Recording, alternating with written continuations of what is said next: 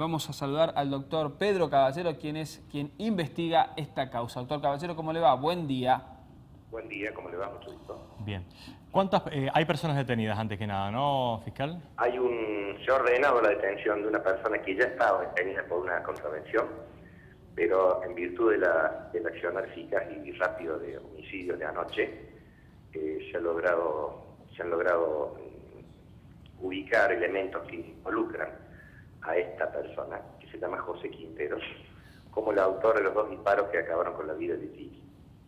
Bien, pero una persona, hasta el momento es una persona detenida, doctor. Claro, entonces, para aclarar un poquito, porque estaba detenido Quinteros y otra persona por una supuesta infracción del Código de Faltas. Eh, resultó ser que ahora, además, sobre esta persona le va a recaer la imputación de homicidio grabado por usar arma fuego. En virtud de todos los elementos que se han reunido y fundamentalmente un secuestro de un, arma que podría ser la utilizada, es el mismo calibre que la que se empleó para matar a, la víctima, ¿no es cierto? Doctor, eh, ¿nos podría dar detalles de estos elementos que llevan a usted dice puntualmente el arma, pero los elementos que llevan a, usted en su investigación a intuir y a imputar específicamente a Quinteros por la muerte de este chico, teniendo en cuenta lo que sabíamos, que fue el domingo por la noche, que al parecer eh, había gente que había visto algo en el lugar, pero no había precisiones. ¿Qué, ¿Cuál fue la, tarea investigativa que usted llevó adelante?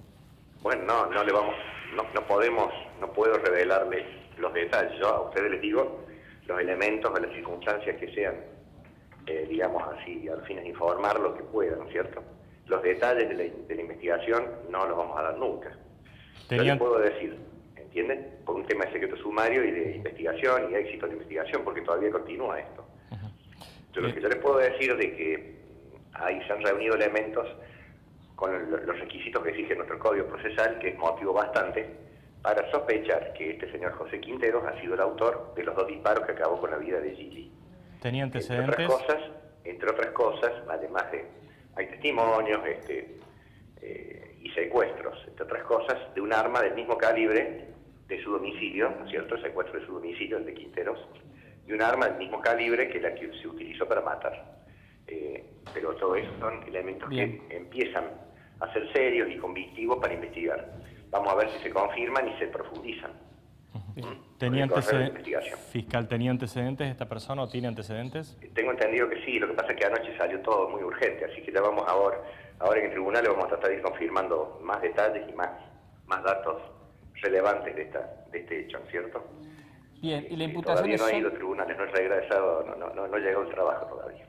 Decíamos que había dos personas que habían sido detenidas por una contravención del Código de Faltas. Usted le ha aplicado la imputación solamente a una de ellas a la otra persona, ¿ustedes creen que participó también del hecho? De momento no tenemos elementos para involucrarlo.